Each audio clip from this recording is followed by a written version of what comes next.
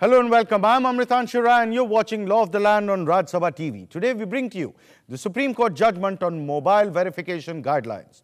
To discuss the issue, I have with me Mr. R.V. Sharda Prasad, independent telecom consultant, Mr. Ram Narayan, DDG Security, Department of Telecommunications, and Mr. Rajan S. Matthews, Director General, Cellular Operators Association of India. And now for the headlines. The Supreme Court rules that SIM cards will now be issued only after verification of documents. The Supreme Court Empowered Committee rules that penalty of 50,000 rupees will be imposed if service provider is caught selling pre-activated SIM cards. And now the service provider will have to pay a penalty for delay in communicating details of disconnection.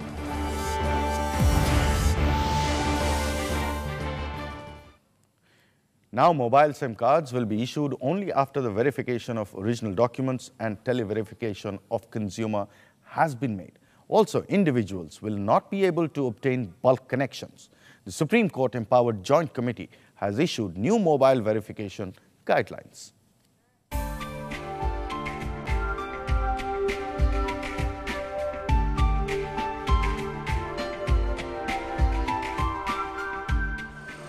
The Supreme Court, in its judgment on mobile verification, observed that while hearing matters related to the attack on Parliament, they had seen a large number of calls which had been made by terrorists from instruments containing unverified SIM cards. The court felt that mobile SIM cards being sold without verification had caused security threat and malpractice in the telecom sector. There are almost a billion subscribers that we have amongst all these service providers. So therefore there's a huge task from a security point of view, from an accounting perspective, from a revenue point of view, that all these subscribers are accounted for. So therefore, the dispute arose for such a large exercise, how and in what manner should the licensees carry out subscriber verification and what is satisfactory to the government. The Supreme Court had directed a joint committee of Department of Telecom and Telecom Regulatory Authority to frame guidelines for mobile subscriber verification. According to the guidelines issued by the committee, SIM cards will be activated only after all the documents are verified by the service provider. Tele-verification is mandatory before the activation of the SIM card is done. A unique number would be given to every mobile application form for reference purposes. Proof of address POA and proof of identity POI will be verified by the authorized person at the point of sale. Mobile connections issued to foreigners will only be valid till the validity of their visa. The guidelines clarify that connections issued to foreigners should not exceed beyond 3 months even if the visa validity is beyond 3 months. You expect now private players to function as super cops. It is ridiculous. According to the guidelines, bulk connections will only be provided to organizations and companies.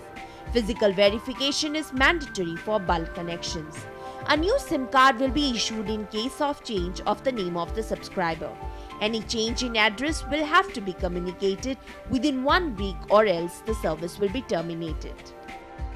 After the DOT guidelines, now the service providers will have to deal with the verification process. Not only this, FIRs will be filed against licensees and customers who submit forged documents with camera person Pradyumna Malik, Subina Roy, Rajya Sabha TV. The petitioner had argued that 65% of all prepaid SIM cards in Kashmir alone are issued without verification. Now, my question to you straight away is, uh, the guidelines by the Empowered Joint, Joint Committee, or we can call it the Empowered Committee, the guidelines that they have issued, it seems to be a pretty tight well, I think um, the intention of the committee was a traceability that once someone is suspected of having committed a crime, then you can uh, trace his whereabouts and trace his communications. Now, in, is it going to work in actual practice? I think not, because terrorists will not go through this process. They will clone SIM cards and they will clone uh, the IMEI of handsets. Now, that is something that can be done fairly simply, cloning of SIM cards and cloning of handsets, or they will spoof Uh, handsets or they'll spoof Wi-Fi networks. They will not go through all this process of, you know, forging identification documents and all that. It, this ends up creating a huge bu bureaucracy. A whole lot of work uh, will need to be done, effort and work and time and money will be spent. But what is the end result? I mean, you're trying to make uh, terrorists into law-abiding citizens uh, and fill out forms, and you know this is something that terrorists don't do. Because uh, you know they can they can uh, crack into a Wi-Fi network and send their messages, or uh, uh, use Skype, or use a lot of VoIP networks where traceability becomes difficult. So tell me something. I'm just trying to uh, try and understand the whole thing. Yes. The Supreme Court says that we don't have technical information, so we will set up a body which is DOT and TRAI, two members each, and they will go into the details. They'll come out with certain guidelines. Now, the moment this joint committee is formed, suddenly it has a brief coming from Supreme Court. Yes. So they want to the, do the job to the best of their abilities, Absolutely. which essentially means tightens up everything, Everything. ignores implementation and the practical aspect of the entire business. So is it meant just for the Supreme Court or is it meant for the people of India?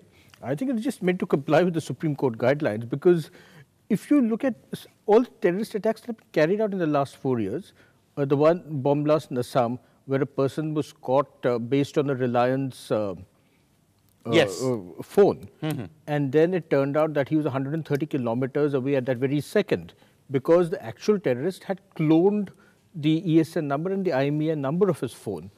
And this, this is what terrorists are going to do. They, they clone the IMEI numbers of the phones and they clone the SIM cards.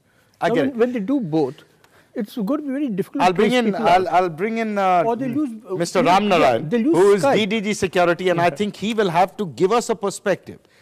I mean, the basic question to you, sir, is why ensure that 50 crore of Indian citizens get down to writing papers and depositing forms in order to ensure that the 10 crore or even less than that, 5 crore, even 1 crore terrorist doesn't filter through.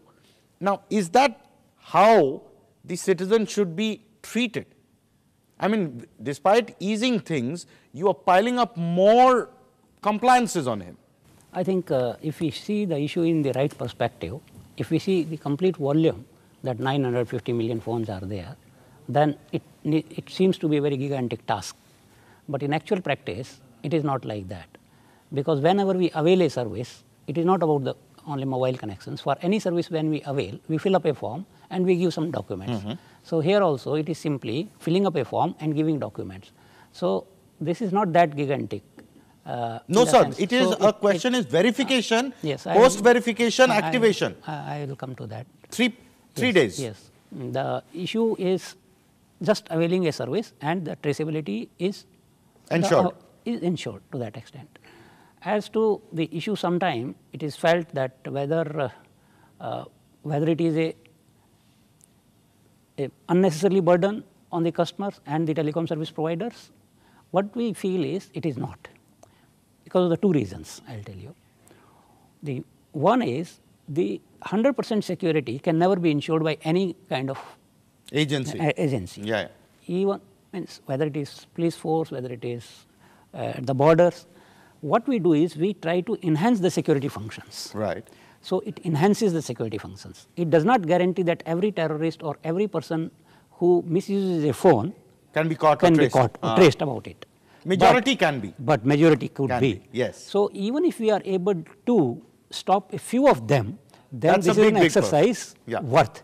Yeah. Because the whole exercise doesn't cost much Yeah. to that extent. Because one terrorist attack, if you are able to stop, it can cause a damage of thousands of crore rupees, and there is no cost to the lives lost Hundreds of lives, yes. as far as the lives is concerned. Hmm. So even if that that objective is achieved, then a, a big objective is achieved. Mm-hmm.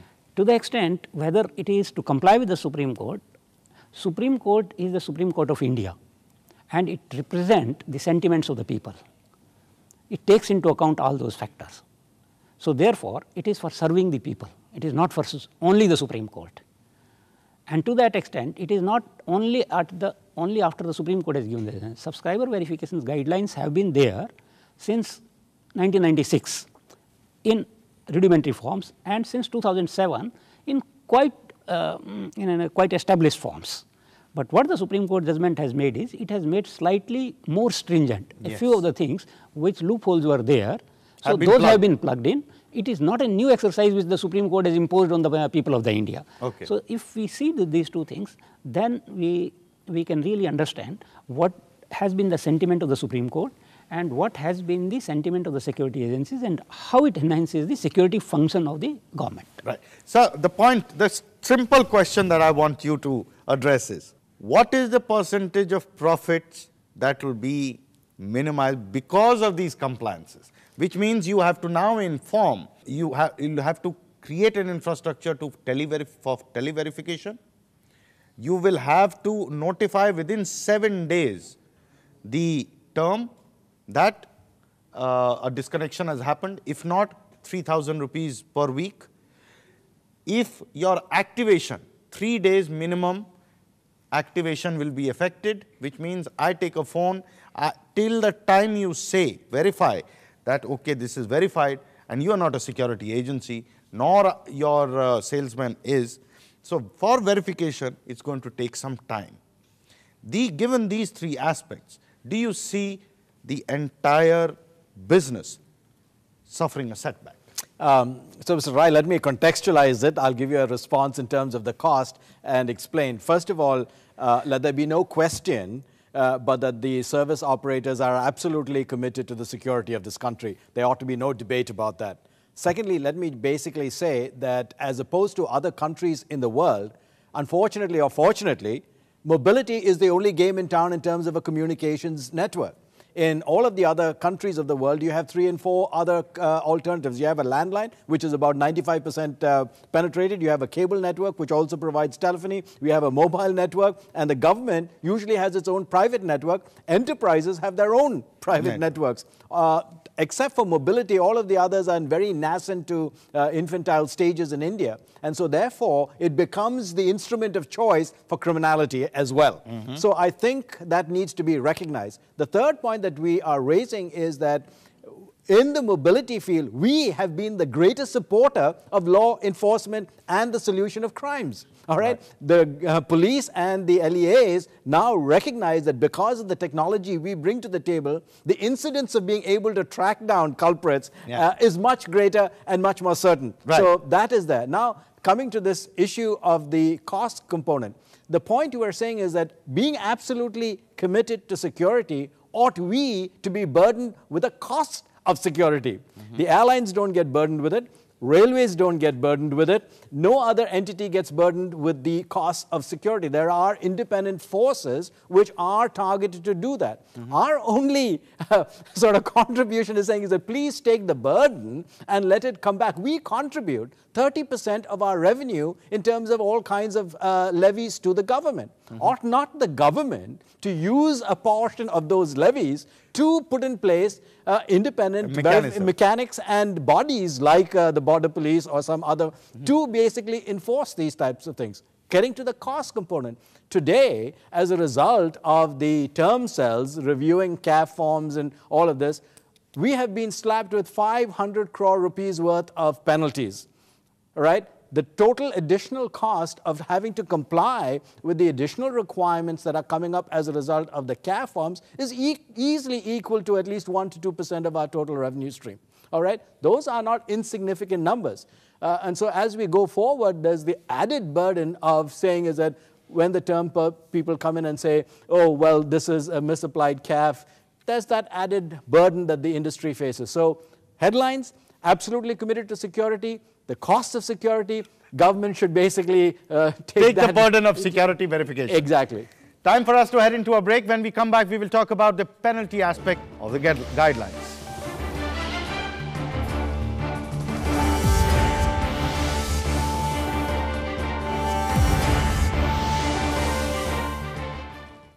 Welcome back. The new mobile subscriber verification guidelines impose heavy penalty on the service provider if he is found selling pre-activated SIM cards.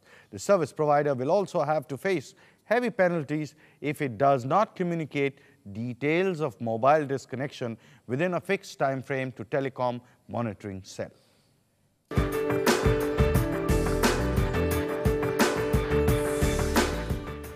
The tele-density per 100 population, which is an important indicator of telecom penetration in the country, has increased from negligible levels to over 50% in recent times. But regulations have not kept pace with the growth in the sector. In a country where documentation, as you know, sometimes is a challenge, uh, to say that you'll be 100% accurate is sometimes a challenge, but we are pretty close. We 95% based on the term cell uh, checks. The new guideline seeks to make the service provider responsible. Mobile disconnection details will now have to be given to the Telecom Monitoring Cell TERM term within 7 days. In case of non-compliance, they may face a penalty of 3000 rupees per connection per week. There will be a penalty of 50,000 rupees for selling pre-activated SIM cards, non-compliance of mobile verification and if the mobile connection in the foreigner's name exceeds the visa limit. The responsibility is still with the licensees. They are the ones who have to face penalty and the penalties have been increased progressively. So therefore there are sometimes if you add up the penalties they add up to hundreds of crores of rupees.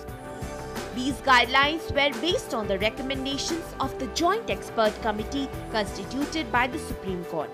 The court had asked the committee to resolve issues like whether re-verification was to be done by service providers or the telecommunication department, if there was a need to increase the penalty for selling pre-activated SIM cards, what is the best mode of delivery of SIM cards to ensure proper verification?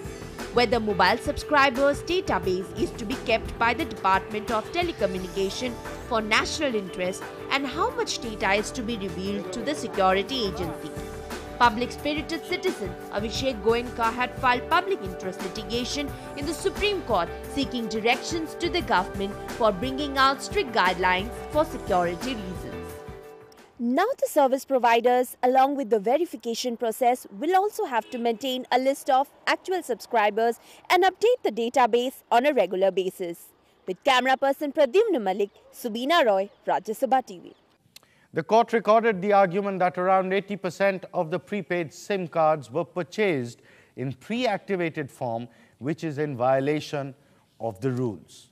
So this, um, Mr. Matthews, the issue of pre-activated, now it is activation after verification. What is going to be the impact on you? Um, clearly, what that means is one additional cost because uh, we are now required to have employees.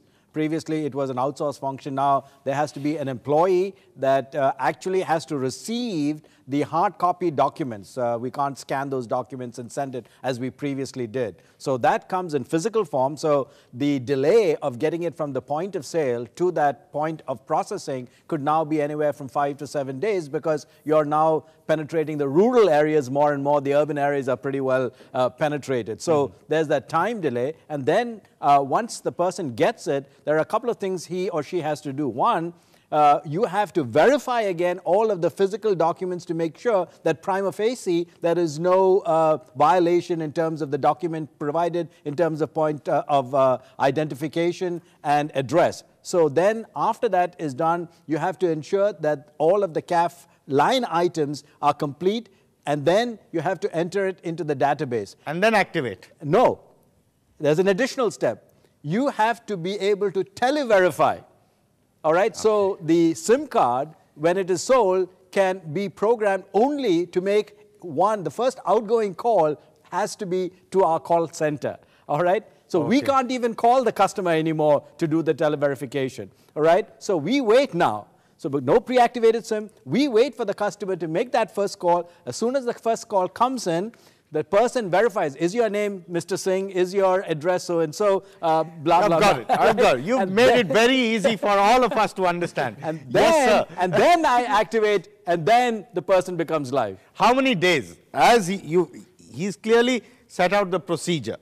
Do you agree with that is how it has to happen, or there is a change uh, that you see, and it's going to be much more practical?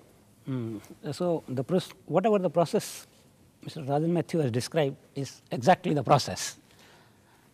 But as far as the delay is concerned, so I, I will give two points to Mr. Matthew. One is first I want to lighten his burden because uh, he says the cost should be borne. by the government. I bear his cost. So, you make the 100 percent verification, all your penalties will go away. So, your burden is lightened. okay, this is a straight offer. Yes, straight offer. So, so Mr. Rai, I'm saying if the term cells across the countries had a consistent way of interpreting it, today I am held responsible for determining whether a document is counterfeit, accurate, or true, right? I get it. And the second point, Mr. Uh, The second point is, whatever the process is described, what happens sometime in the business process is, whenever you get a challenge, you make your processes more efficient. And when you make the processes efficient, organization become more efficient, not in one area, in all areas, because it, it uh, has a bearing on all the areas. Yeah. So once this process has been prescribed, so There'll be the an way is- efficiency achieved over a time. So uh, efficiency will be achieved. They will be forced to create uh, a more efficient mechanism by which they can activate the SIM cards quickly. I get it. And because it is applicable uniformly all the telecom service providers, not to one or two, so there is no disadvantage or advantage to one over the other. other.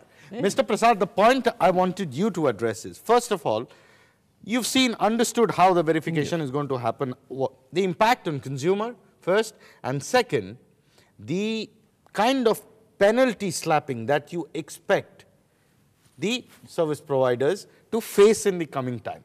Penalty because all of them have been enhanced, Yes. one, and second is the impact on consumer. Quickly, sir. Well, impact on consumers is going to be uh, uh, great. In fact, it's going to be greatest on uh, foreigners visiting India, Yeah. especially foreign businessmen, because they'll come and they'll apply for a card, and then they'll have to twiddle their thumbs for you know four or five days until their uh, SIM gets activated. So how how are they going to conduct business in India for those few days till their SIM gets uh, activated? Also, foreign tourists are going to be put to a lot of inconvenience. So defi- definitely, I mean, you're slowing down the velocity of business in India at a time when there is a fiscal deficit. You want business to get done, but business will not get done. And uh, uh, certainly now on the um, uh, penalties being enhanced, uh, basically, I think that's another way of uh, the government trying to push its, uh, let's say, if they get caught on a uh, you know, of not be able to trace a criminal, now they'll push it back uh, and make the the costs of that at least go on to the service provider.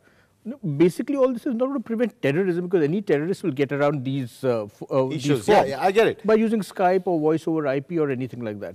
These will help, you know, may at best help uh, prevent petty crimes done on the spur of the moment without pre-planning, like you know, some kinds of cyber stalking, yeah, harassment. yeah, yeah. Because then, when the person knows that his phone can be traced, So, or uh, his identity can be traced, so the petty kinds of crimes uh, uh, will be taken care of. be, But the big crimes, this is not the way it happens. Yeah. Okay. Time for us to enter into a break. When we return, we will show you an interview with Mr. Avishek Goenka, petitioner in the case.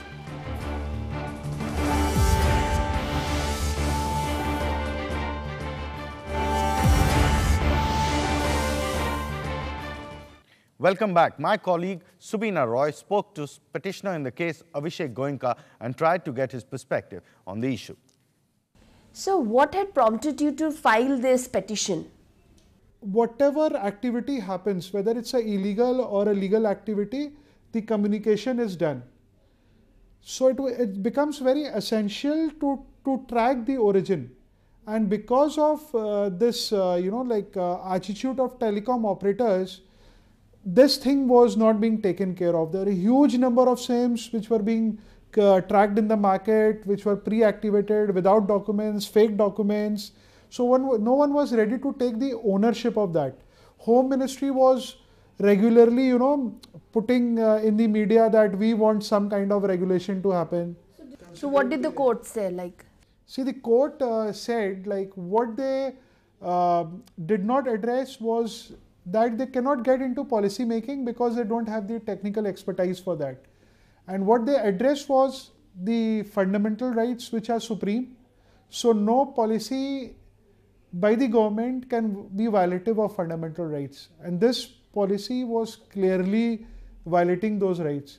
So, Supreme Court formulated guidelines which were the origin of those guidelines were the proposals, the prayers of my petition. So they listed those guidelines and asked TRAI and DOT to sit together because TRAI had separate views and DOT had separate views again. So they asked them to sit together, formulate a policy, and see that these fundamental rights are addressed, and the policy was there. The petitioner had argued that prepaid SIM cards are most commonly issued without verification and constitute 96% of the total SIM cards sold in the country.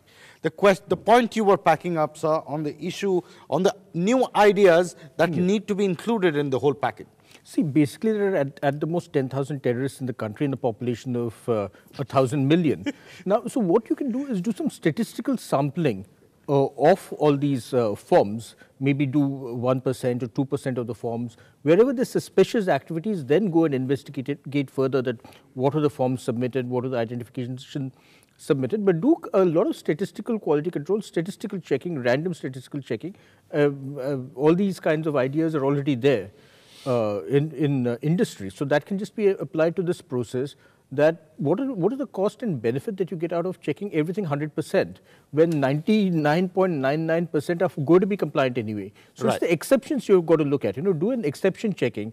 And identify the percentage which is varying from yeah, the, which is varying uh, from the norm. compliances. Yeah, from the compliances. Right. So, and, uh, and go after those people. Go. On the point of uh, uh the security aspect, you were saying, yeah, uh, one is this uh, compliances are done uh, statistically only. Mm -hmm. the sample are checked by at the rate of 0.01 percent, that is one form out of thousand only. Mm -hmm. So the initially is the initially is only taking the document by the telecom service provider, and then actual com compliance checking is only on the sample basis. Mm -hmm. That is done by the government, and the cost is also borne by the government. Mm-hmm. And now the the new idea is that we should implement these guidelines faithfully and if we do that then uh, really the result will be achieved. So, I would request uh, at this stage that we should put all our energies because now the issue is settled. So, now how should we implement it and uh, we should uh, really implement it in its true respect. In a mutually beneficial yes, manner. The point you were making on the cost. Uh, Mr. Rai, I think the fundamental problem in our country is one of identity. Mm -hmm. All right, we have to start making Aadhaar and some other you know, identity uh, cards absolutely robust and ubiquitous. Mm -hmm. And without that, we are continuing to be burdened with bearing that cost, which is really a responsibility of government. Thank you, sir. Thank you, sir. Thank you, sir, for joining us on this discussion. It's time for us to end the show. You can email your suggestions and comments to law.rstv at gmail.com. You can also watch our shows on the YouTube. We'll be back with a new issue and a new episode. Keep watching Rajya Sabha TV.